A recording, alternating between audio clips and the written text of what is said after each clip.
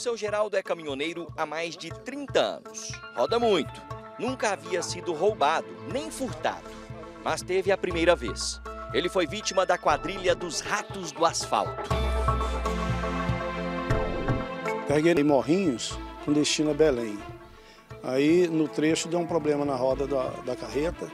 Eu parei no início dessa GO aqui que vai de, de perimetral para Nerópolis, onde teve que fazer uma manutenção e teve que pernoitar, pernoitar de uma pernoitar por lá.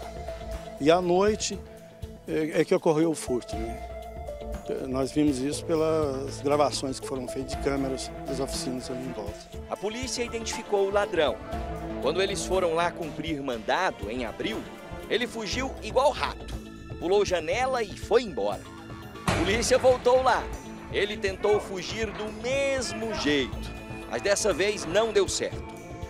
Foi preso nessa operação o maior ladrão de, de Goiás referente a furtos parciais de cargas. Ele aproveitava o descanso dos motoristas em postos de combustíveis, né, quando aquela carga estava sem a vigilância do motorista, então, juntamente com a sua família, que fazem parte dessa associação criminosa, eles rompiam os baús e levavam o que eles davam conta de colocar dentro do carro. Essa turma, para essa quadrilha familiar, quadrilha de família, vocês vão entender por quê. Carga parada era carga furtada. Era a sangria ali, ó. Igual rato. Já viu como é que rato rouba comida? Ele vai lá, pega um pouquinho, leva. Vai lá, pega um pouquinho, leva. Era assim que essa quadrilha fazia. Essa quadrilha que foi descoberta pela Delegacia de Repressão a Furtos e Roubos de Carga, a DECAR.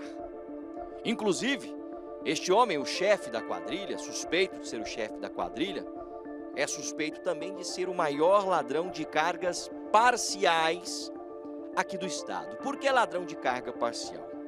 Existe ali, né, o furto pelo pelo pelo desvio da carga, ou existe o roubo, né, quando é o assalto, o pessoal vai lá, dá voz de assalto e leva a carga.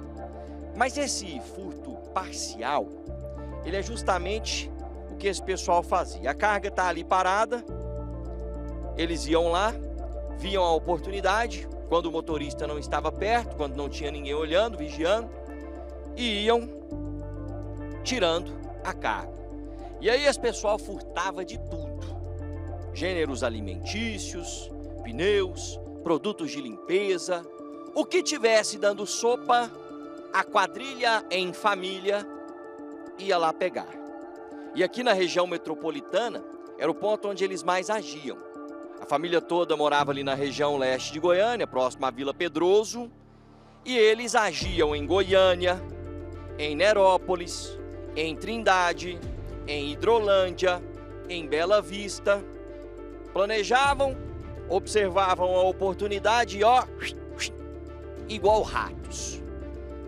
Numa, desses, numa dessas vezes aí, num desses casos, eles furtaram é, a carga que um caminhoneiro levava saindo de Morrinhos, indo para Belém, no estado do Pará.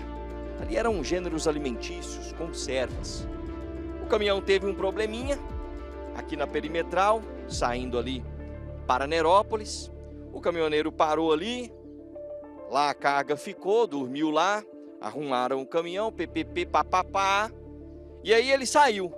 Quando ele já estava entrando na cidade de Nerópolis, ele decidiu parar ali num posto, almoçar, né? Comer um arroz com feijão, um bifão, um ovão em cima, um zoiudo, uma salada. Encheu o buchinho e falou: agora eu vou bater lá para Pará. Tinha deixado o caminhão estacionado de um lado da rodovia e segui a pé até o posto, né? Quando eu estava retornando, foi que eu vi a lona batendo ali no meio.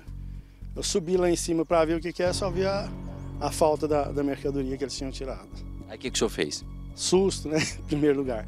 Aí liguei para a seguradora, para a polícia, avisei a empresa, né, para tomar as devidas providências legais ali para a situação. 12 mil de prejuízo em carga furtada. Ele pediu, ele voltou lá, onde ele tinha deixado o caminhão parado, pediu um pessoal lá de frente as imagens do circuito de segurança. E essas imagens que estão passando aí revelam o furto parcial. Igual rato. Pararam um carro, foram fazendo a sangria, descarregando, pum, encheu um carro. Veio outro, descarregaram e assim eles faziam. Inclusive, o irmão deste homem que foi preso, ele morreu em confronto com a polícia no ano passado. Na ocasião não era um furto, era um assalto, é, que ele assaltou ali caminhoneiro em busca de carga. Mas era assim em família. A mulher dele, o irmão, que foi morto inclusive em confronto com a polícia militar o ano passado, e o sobrinho. Todos agiam da mesma forma. É o modo deles ganharem a vida. Inclusive, o suspeito que foi preso, ele tem uma mercearia. Boa parte do que ele furtava, ele negociava ali. Usava para abastecer ali os gêneros que ele oferecia no estabelecimento dele. Agora a polícia continua essa investigação. Tentar identificar mais vítimas, né? É, nós temos autorização para verificar as mensagens e verificar onde mais que ele cometeu esse tipo de crime.